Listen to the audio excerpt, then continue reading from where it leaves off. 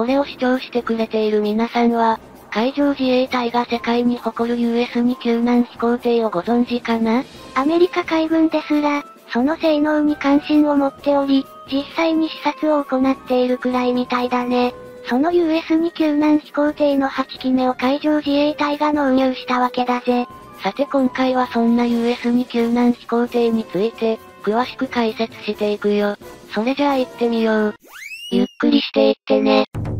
2022年5月24日、新名和工業より、通算で8機目となる US2 救難飛行艇が海上自衛隊へ納品され、晴れて岩国基地に配備されることになったよ。2007年3月の初号機から今もなお日本の海難救助活動に従事しており、これからも多くの命を救うことが期待されているね。US2 救難飛行艇の初限に関しては、乗員11名、全長33.25メートル、全幅33.15メートル、全高10.06メートルの規模感となっているんだ。これを見ると世界でも最大規模の飛行艇と言われるのも納得がいき、最大時速 580km、巡航時では 470km、航続距離も 4700km に達すると言われているんだって。この US2 救難飛行艇の最大の特徴と言われ、世界の各国から注目されているのが圧倒的な短距離着水を可能としている点だと言っていいんじゃないかな。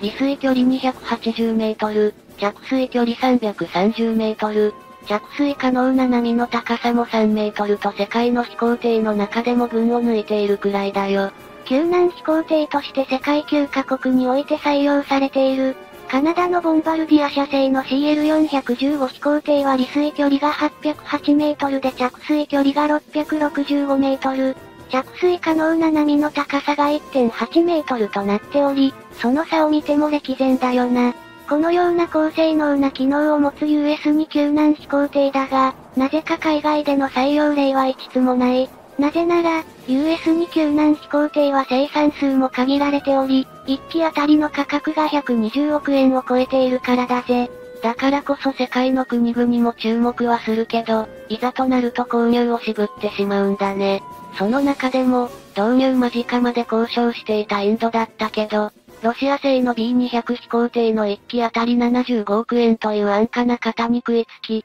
性能は大幅に劣るものの、コスト面で負けてしまったんだ。しかも、インドはもともとロシアとつながりが強いことから、単純な金額面だけではなく、購入後のアフターフォローなども充実していると推察されるよ。いかに日本の US2 救難飛行艇が高性能といっても、そもそもロシアの優位性が高かったんだ。しかし、現状を見てもロシアの生産性の低下が顕著になってきていて、当然だが、ウクライナ有事による西側諸国からの経済制裁が起因となっていて、B200 飛行艇の生産も止めざるを得なくなっているぜ。それでもインドはロシアに対して経済制裁を行っていないことや、行き先を失ったロシア産の原油を購入するなど、独自の路線を選択していることから、二国間の関係は良い方向で進んでおり、今後も価格面などで合意が取られれば、取引は順調に進められるだろうな。一方で US2 救難飛行艇の外観のデザインや救難飛行艇としてのコンセプトなどは、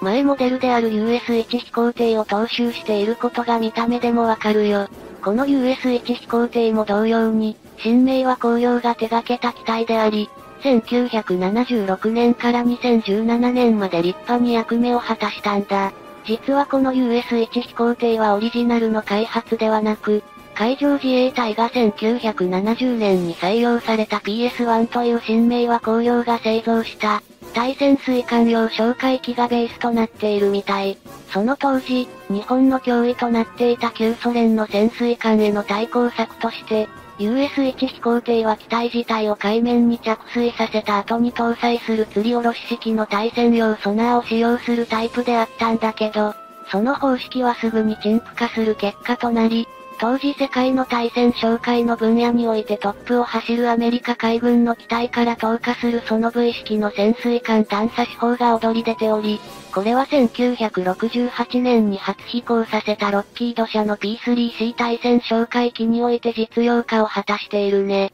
それで、海上自衛隊は US-1 飛行艇の調達を23機で打ち止め、1981年にアメリカ海軍に倣ってロッキード社製の P3C 対戦哨戒機を導入する運びとなったわけだな。ちなみに同機は川崎重工業者がライセンス生産を行うなどして、その後、100機以上が調達されており、海上自衛隊では同社製の国産 P1 哨戒機を2013年正式採用へと発展を遂げたぜ。2022年度末においても P3C 対戦哨戒機40機の保有を継続していたことから、残るこれらを海外の国々に対して払い下げる計画も進められているけど、またもや交渉負けしている模様が伺えるよ。中でも南シナ海での監視能力強化を図るフィリピンが P3C の購入を希望していたけど、後の運用に高度な能力を必要とし、維持費も高い P3C に代わり、より扱いやすく維持費が安い方の TC90 に変更となっているんだ。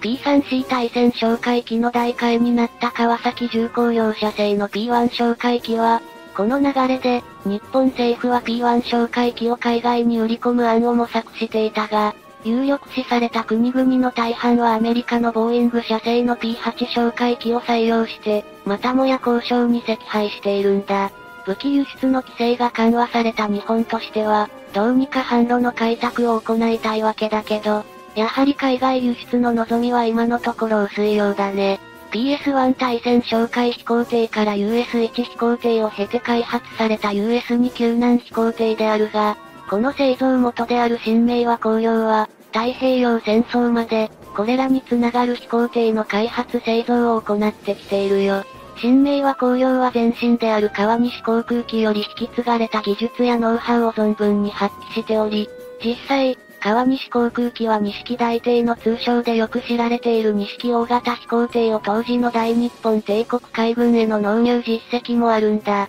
太平洋戦争期において世界屈指の性能を持つと評価を受けた錦大型飛行艇は、川西航空機の菊原静雄技師を中心に開発された機体であり、1942年に日本帝国海軍がこの機体に惚れ込み、正式採用に至ったわけだな。この菊原静雄技師によって開発されたのは二式大型飛行艇だけではなく、極地戦闘機として名高い自然及び自然界をも開発しており、日本の航空機製造に多大な貢献をした設計技師でもあるぜ。二式大型飛行艇は、第一次世界大戦の幕を閉じた後の世界の軍縮の流れから開発されたものであり、アメリカ海軍を最大の仮想敵としていた大日本帝国海軍が水上戦闘艦の建造を、この艦の軍縮条約等で規制されたことが発端となっているよ。当時の大日本帝国海軍の構想としては、水上戦闘艦の代わりとなる航空機の攻撃によってアメリカ海軍と対峙するというものであり、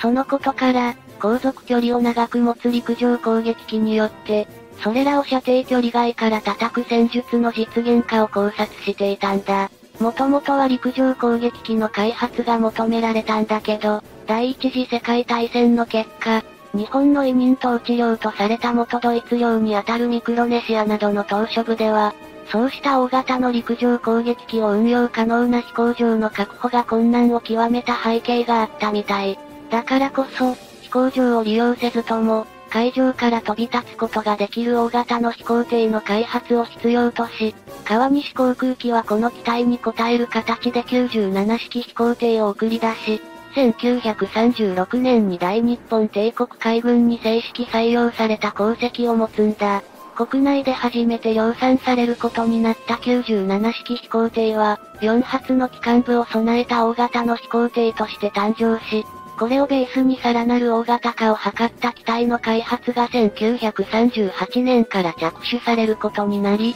その結果1940年12月に完成を果たし、1942年に正式採用されたのが、二式大型飛行艇というわけだね。こうやって US に救難飛行艇の歴史の紐を解いていくと面白いものが見えてくるよね。それじゃあ今回はこの辺で、よかったら、チャンネル登録してね。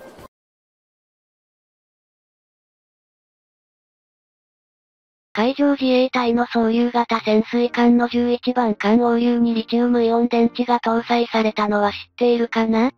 てるよ。でも実は、10番艦まではスターリングエンジンを搭載していたんだよね。11番艦からはリチウムイオン電池を乗せ、馬力も8000からダウンしたらしいな。さて今回はその経緯について詳しく解説していくよ。それじゃあ行ってみよう。ゆっくりしていってね。スターリングエンジンも良かったんだけど、低出力がネックとなり現行のリチウムイオンバッテリーの前に採用が変更。高出力のバッテリー搭載が可能となり、リチウムイオンバッテリーの進化は今でも驚くほどで、親潮型潜水艦でも交換できる時代になればいいよね。最近はエンジンではなく蓄電池を使用する潜水艦が増えたイメージだけど、もはやエネルギー資源が地球からどんどんなくなっていることも関係しているのかもしれないし、巷ではサスティナブルが歌われているけど、この影響が潜水艦にまで響いていると思うとなんだか不思議な感覚だよ。さて、海事の総流型潜水艦は、通常動力型潜水艦としては世界トップクラスの性能と言われていて、その総流型をさらに発展させた体芸型潜水艦の一番艦体芸が、2020年10月14日、三菱重工業神戸造船所において無事に浸水したんだ。この体芸は総流型より喫水線は2メートルほど深いそうで、排水量も50トン上回るとのことで、海事としては最も大きい潜水艦になるね。艦名の体芸だけど、漢字で書くと体芸で、当然クジラにちなんだものになっていて、実は海事の潜水艦の艦名は訓令に解消、随称動物の名、水中動物の名から付与されるというルールがあるみたい。そういう型は、縁起の良い随称動物である竜にちなんだ艦名で、漢字で書くと総流となり、この名前は、太平洋戦争で活躍した大日本帝国海軍の空母総流と同じだな。ということは大芸にもそういう歴史があるのかな大芸も大日本帝国海軍所有の潜水母艦の名前で、当時の潜水母艦というのは攻撃用というより、洋上で潜水艦への補給や乗組員の給養などの役目を担っていた艦艇であり、時には潜水艦隊の機関になることもあったみたい。この潜水母艦隊芸は、一丁有事の際、航空母艦に改装することが前提条件として作られていて、太平洋戦争が始まった時に航空母艦流砲に改装された大芸だけど、1942年昭和17年6月のミッドウェー海戦で日本は主力空母4隻も失ってしまったんだ。この敗北によって、日本はそれ以後の戦争の主導権をアメリカに握られ、一気に崩壊の道へと進むことになるな。このミッドウェー海戦の指揮を取ったのが悲劇の南雲中将で、彼を任命したのはあの山本五十六司令官だよ。彼の手腕をもってしても、敗れることになってしまい、敗戦の責任を問われた南雲中将は、それでもソロモン海戦などに参戦したんだけど、昭和19年敵の猛攻を受けたサイパンの司令部で自決してしまったんだ。どうしても山本五十六にスポットが当たるが、秀夫の影にはこういった人物もいたことを忘れてはならないぜ。戦争では、このような影で活躍した人々は数えきれないほどいそうだな。そして UFO は、ミッドウェー海戦を、改めて正規の空母として扱いを受け、マリアナ沖海戦などにも参戦しており、その後、広島の呉軍港で防空砲台として使用され、1945年昭和20年日本が敗戦した1年後の1946年解体されて、艦艇としての役目を終えているよ。現在の潜水艦大芸は、応流や投流にも採用されているリチウムイオン蓄電池が搭載されていて、ディーゼルエンジンによる充電能力の向上を目的として新たに開発されたスノーケル発電システムも設置されているから、そういう型に間よりさらにリチウムイオン蓄電池の性能を引き出せる仕様になっているんだって。そういう型に間には、今までのスターリングエンジンは載せておらず、もっとも最初はスターリングエンジンもそのまま使用する、つまり併用する予定だったみたいで、鉛蓄電池だけをリチウムイオン電池に交換することが検討されていたみたい。様々な見積もりをした結果、スターリングエンジンと鉛蓄電池すべてをリチウムイオン蓄電池に変えた方が、費用は高くなっても大きな出力が得られるという結論に至ったわけで、実際10番艦までの建設費は1隻あたり517億円ほどだったんだけど、高額なリチウム蓄電池を乗せるため643億円ほどに跳ね上がり、100億円以上も増えることになってしまったんだ。経費は増えたけど、馬力は減ったと言われていて、なぜなら、スターリングエンジンの総流型のスクリュー時空待ちからは8000だったけど、欧流や東流は高評値が5600馬力だから、性能が低下したと感じてしまうよね。確かに瞬発的な最大スピードは落ちるが、リチウムイオン蓄電池には効率放電を長時間持続できるというメリットがあるぜ。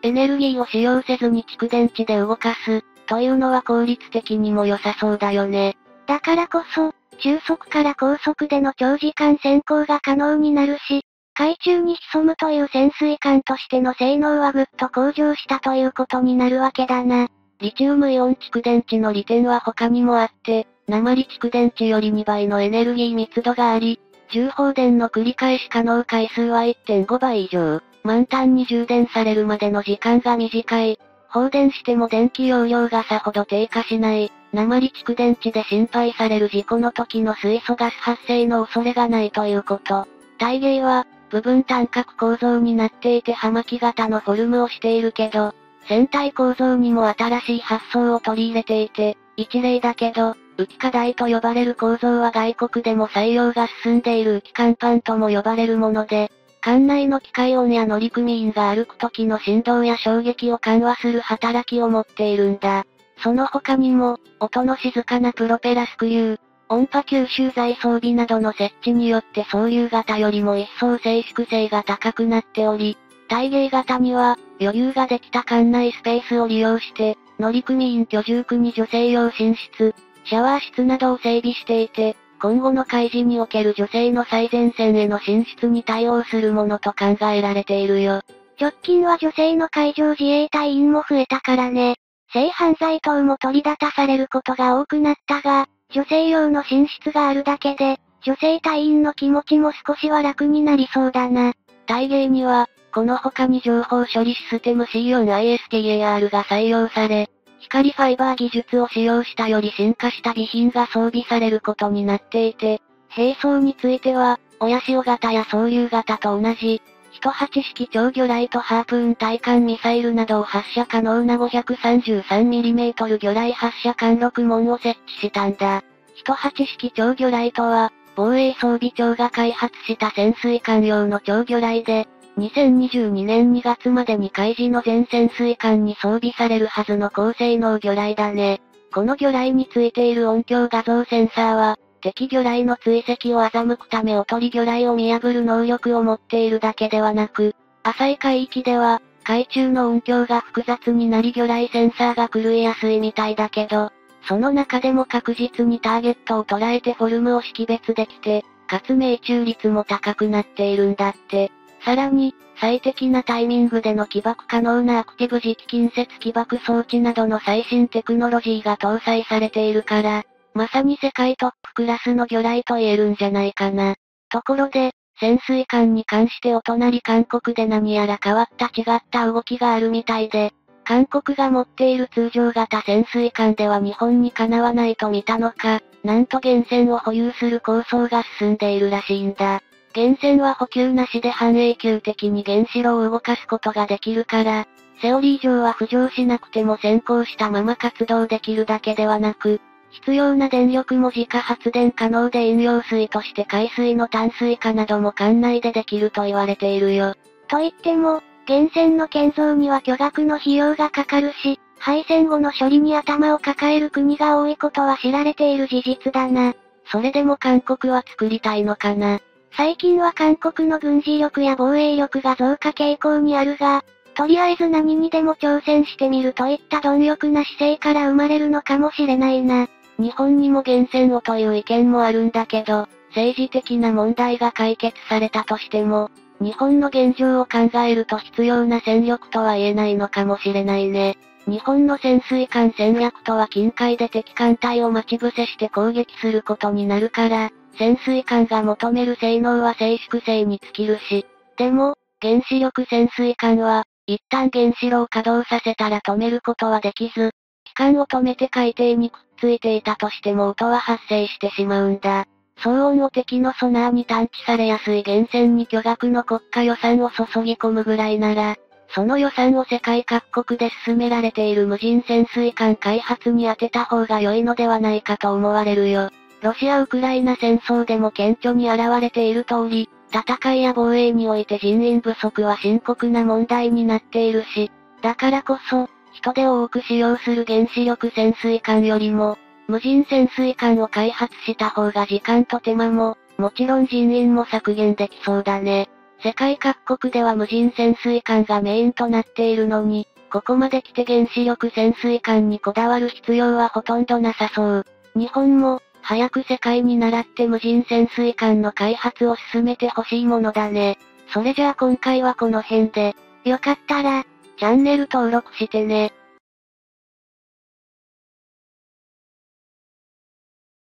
イギリス軍が誇る空母クイーンエリザベス、その誇り高い上艦にアメリカ軍の F35B 戦闘機が満載され、北海で合同訓練中なんだって。空母クイーンエリザベスは F35B を乗せるため、クロスデッキ訓練を行ったということだね。これはイギリスだけの話ではなく、日本も護衛艦出雲でクロスデッキ訓練を行うために、改修工事に入っているな。クロスデッキというのは、空母の共同使用ということで、デッキ甲板をクロス交差させるということだな。自国の空母に離着陸させるんだから、どの国の戦闘機でも良いというわけにはいかないよね。だからこそ、同盟国の戦闘機でなければクロスデッキ訓練はしないだろうな。そしてクロスデッキを行うということで、同盟国の関係の深さを世界に知らしめることができるというわけだぜ。うんうん。さて今回は護衛艦出雲が改修工事を急ピッチで進めていることについて、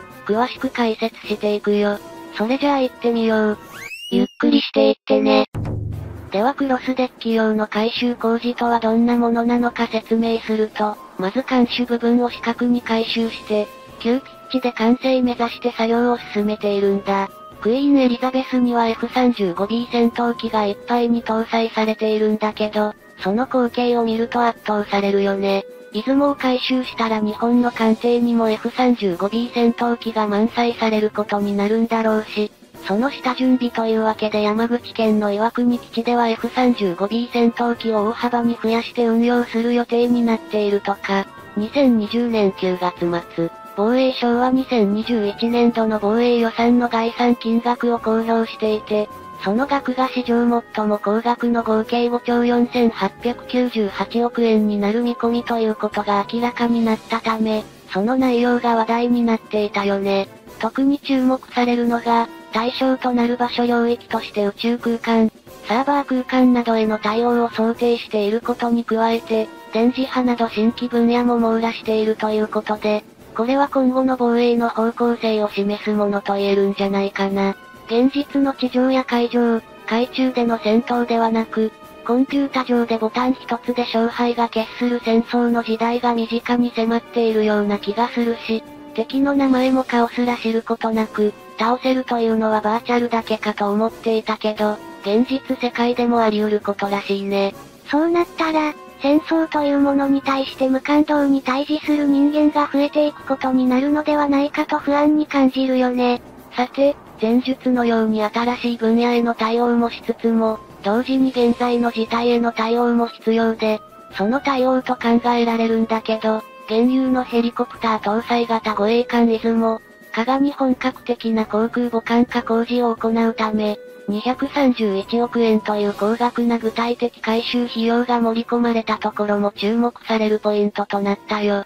航空母艦という言葉だけを見るとかなり大きいというか、重厚、深刻なものと感じられるし、戦争につきものといった考えなめないよね。その通りで、出雲、加賀の航空母艦化という動きは、ややもすれば言葉だけが一人歩きしてしまう傾向を生み、その是非をめぐって、専守防衛を理念とするはずの自衛隊が攻撃型兵器である航空母艦を保有しても良いのかという批判が上がっていることも事実だな。自衛隊の指揮から攻撃的兵器保有は容認できないとする意見だが、弾道ミサイル防衛に関する敵基地攻撃能力の獲得という事態とも絡んで、議論の対象にもなっているわけだ。当然といえば当然だね。今までの理念を簡単にスルーしないでほしいし、なんといっても血税で購入するわけだから、しっかりとした誠意ある説明は絶対必要だと思うよ。言葉としての攻撃的兵器というレッテルなら、すでに海事の主戦力として欠かせない潜水艦は、軍事上の種別では攻撃型潜水艦と呼ばれているから、これも問題なのかという反論が上がっていて、要するに、艦艇や航空機、車両など兵器自体というより、実装する兵装武器によってどんな風にも運用できるんだから、それをスルーした批判は無意味ではないかという反対意見も湧き上がったね。ここで改めて考えてみると、2隻の護衛艦出雲と香川航空母艦として回収し、F35B ライトニング2戦闘機を艦載機として搭載することは、南西諸島方面に圧力を増しつつある中国海軍に対する強力な抑止力になるだろうという期待感もあるようで、この F35 ライトニング2戦闘機は、高度なステルス性能を持つ戦闘機だから、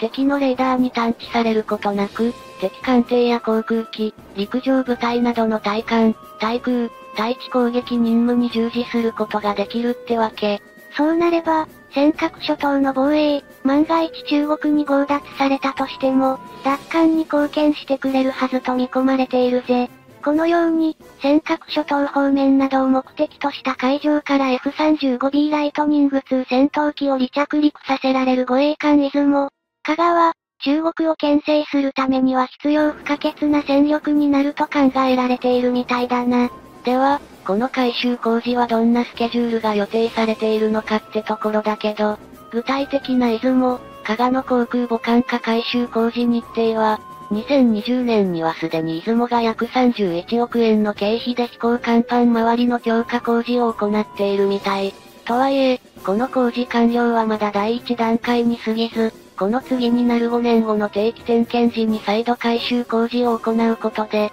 やっとすべての航空母艦化改修工程が終了することになり、ここでようやく F35B ライトニング2戦闘機の運用可能というわけだね。こういったスケジュールだから、従来は2021年に大規模定期点検に入る加賀が一度に改修工事をすべて終了し、出雲より先に航空母艦化が完了するというのが一般的解釈だったんだ。だけど、今回2021年度の防衛費の概算要求内容を見ると、加賀の回収も2度に分けて行うということが判明していて、1度目は約231億円の経費で飛行甲板を拡張する大規模な工事となるということが分かったよ。その理由だけど、現在の香川垂直離着陸で運用されるヘリコプターのみに対応した船体で、それを短距離離陸垂直着陸が可能な F35B ライトニング2戦闘機を運用するために、飛行甲板を広げる必要があるということでの工事ってわけ。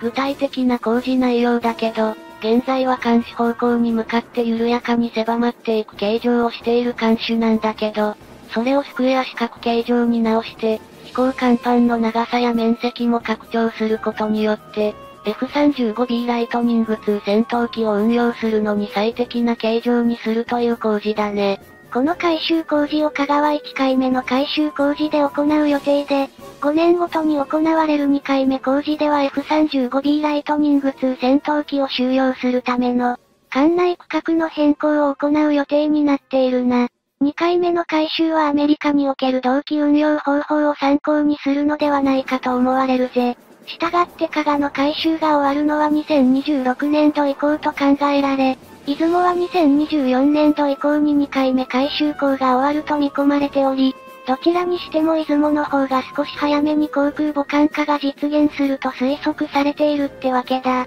では日本が期待する F35 ライトニング2戦闘機について少し説明すると、なんといっても気になるのはそのお値段だよね。果たしてどれほどの巨額予算が注ぎ込まれることになったんだろ改修工事と補強を合わせるかのように、調達予算が組まれている F35B ライトニング2戦闘機だけど、2020年度予算は6機購入予定で経費は793億円。実際に購入するのは2024年ということで、2021年度予算では2機購入で経費264億円。これも実際の購入は2025年という計画になっているみたい。2024年と2025年の2年で調達予定になっている F35B ライトニング2戦闘機だけど、どちらも1機あたり調達価格を計算すると約132億円になり、ライトニング2シリーズには、A 型、B 型、C 型の3種類あって、日本が購入したがっているのは C 型で、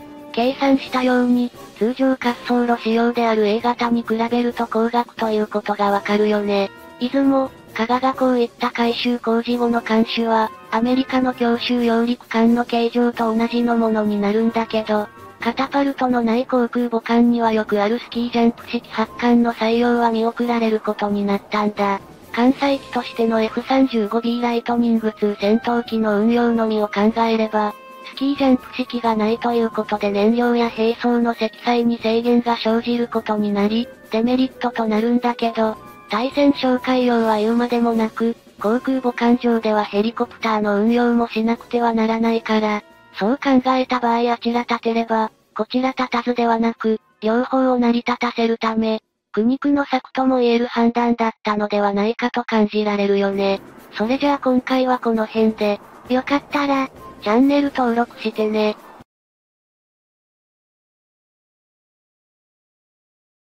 陸上自衛隊の第3.5世代第4世代との見方も主力戦車である一丸式戦車は、国産戦車として4代目にあたり、それまでの第3世代主力戦車90式戦車と比較して戦闘力の総合化が図られているね。火力機動力防護力がそれぞれ向上した上に小型軽量化もなされていて、日本の国土防衛に適した戦車だな。日本の技術力を結集させた誇るべき戦車だよね。さて今回は高性能な陸上自衛隊の10式戦車について、詳しく解説していくよ。それじゃあ行ってみよう。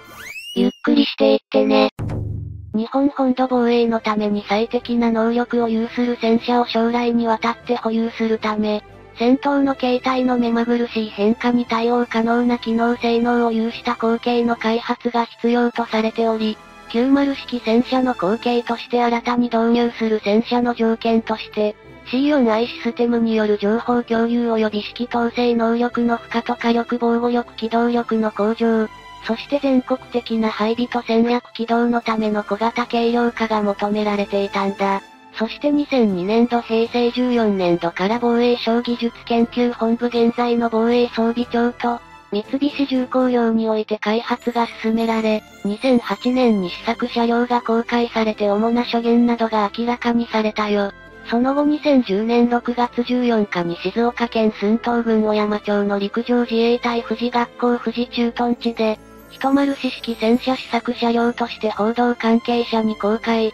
90式戦車と並走して走行する姿が公開され、さらに同年7月11日に行われた富士学校富士駐屯地開設56周年記念行事で、初めて一般向けに2両の試作車による走行展示が行われ、この2010年度から陸上自衛隊で調達が開始されているね。一丸式戦車の主な諸言は全長9.42メートル全幅3.24メートル全高2.30メートル全微重量約44トン乗員3名とされ、90式戦車より一回り小さく74式戦車よりやや大きく、喧嘩方式が74式戦車と同じく全天輪が油気圧式のパッシブサスペンションとなっていて、74式戦車と同様に左右への車体傾斜機能が復活していることが90式戦車との違いなんだ。これまで日本が独自に開発してきた戦車のうち90式戦車については、アメリカと旧ソ連による東西冷戦の影響を受けて主に平地が広い北海道での運用が考慮されており、大口径の125メートル砲が搭載されている旧ソ連製の T80 戦車などに対抗するために、大型化せざるを得ず、重量が約50トンとなったな。そのため90式戦車は日本国内の橋梁や路面の許容重量の基準から北海道以外では平時における配備と運用が難しいとされ、10式戦車の開発においては本州、四国、九州など全国的な配備運用に適した能力と、砲塔を乗せたままでのトレーラー輸送を可能にするなどの戦略上の機動性向上が求められた結果として、全備重量で約6トンも軽い約44トンとされたぜ。74式戦車を陸送する際にトランスポーターで輸送する場合、73式特大型セミトレーラによって車体に砲塔を搭載したまま輸送できるんだけど、90式戦車の場合は最大積載量が50トンの特大型運搬車であれば砲塔と車体が一体のままの状態で輸送できるものの、最大積載量が小さい73式特大型セミトレーラでは車体から砲塔を分離して下ろし、別々に輸送しなければならなかったんだ。しかし、10式戦車では全備重量が約44トンに収められているため、約4トン分の装甲などの装備を取り外すことで砲塔を車体に搭載したまま、73式特大型セミトレーラで運搬することができるようになったってわけだ。さらに近年では全国的に道路交通網が整備され、かつて61式戦車が開発された頃に比べると道路の発展に反比例するように鉄道は地方ローカル線の配線が進み、輸送網として機能しなくなっているぜ。そのため陸上自衛隊では74式戦車の開発以降、戦車の鉄道輸送は事実上断念していて、90式戦車を輸送する場合、専用のトランスポーターで輸送を実施しようとすると道路の許容重量によっては走行できるルートが限られてしまう可能性が大きく、といって舗装道路を長距離自走させた場合には立体キャタピラーや足回りと、路面舗装を傷める可能性が指摘されていたんだけど、10式戦車の設計にあたっては同時代に開発された世界の第3.5世代主力戦車の中では、小型となる40トン級車両とすることによって舗装道路を自走する際の車体と路面へのダメージ低減にも成功したんだよね。戦車において日本全国の主要国道にかかる橋梁約1万9700箇所における橋梁通過率は、重量が約50トンの90式戦車で約65%、55トンから60トンを超える海外の主力戦車では約40%以下とされているけど、この軽量の10式戦車に搭載されているエンジンは1200ス2300アープムを発揮する三菱 8VA34WT 系で、このエンジンは61式戦車以来の水冷4サイクル V 型8気筒ディーゼルエンジンで、出力重量比は約 27PS トンで、90式の約 30PS トンと比べれば若干低いとされながらも、出力 1500PS 重量55トンの戦車とほぼ同等なんだ。なお、この三菱 8VA34WT 系については、そのコンパクトで高性能な点に着目したトルコが、2014年に新型戦車アルタイへの導入を希望したことを受けて、当時の安倍政権が武器輸出緩和政策の流れに乗って共同開発を行う方針が示されたことがあるが、トルコから第三国にその技術が漏洩する恐れなどから実現しなかったとの経緯があったぜ。目先の利益を取るより、情報漏洩のリスクを考慮した賢明な判断だよね。この高性能なディーゼルエンジンによって10式戦車は最高速度 70km 毎時を発揮するんだけど、変速比を常に最適に制御可能な、油圧機械式無段階自動変速走行機ヒドローメカニカルトランスミッション HMT を採用しているために、更新速度においても最高速度 70km 毎時を発揮することができ、さらにこの変速走行機によって90式戦車半分の半径で旋回が可能とされ、動力装置の高効率高応答化と小型軽量化が実現され機動性が大きく向上されているんだ。10式戦車手法にはこれまでの44口径 120mm 滑空砲より重量が13%軽減された。日本製鋼書製の軽量高高圧方針の44口径 120mm 滑空砲が搭載され、さらに将来的には必要に応じて欧米の第3.5世代主力戦車の手法である、55口径 120mm 滑空砲への換装が可能なように設計されているね。また、弾薬の互換性を保持するため、四方の一部に西側諸国に共通のラインメタル社製の 120mm44 滑空砲と共通の設計がなされていて、90式戦車用の砲弾はもちろん、NATO 弾も使用できるとされているな。なお、10式戦車用の砲弾には鉄鋼弾の他に空砲も調達されており、訓練や演習時の使用はもとより記念行事や模擬戦闘などで90式戦車では実施できなかった空砲射撃が可能となっているぜ。砲弾の装填には軽量化が図られた自動装填装置が装備され、砲塔内のベルト式球弾装置によって砲塔後面にある球弾用ハッチから自動装填装置への球弾を行えるんでしょ？そうだね。弾薬を砲塔内で保持する機構は90式戦車では爪型であったけど10式戦車では筒型になっていて、これにより装填中の砲弾の挙動が安定し、不正地を走行しながら戦闘時の装填安定性向上や、より早く装填することが可能となったんだ。また、副武装は砲塔上面の車徴用潜望鏡上部に旋回式の 12.7mm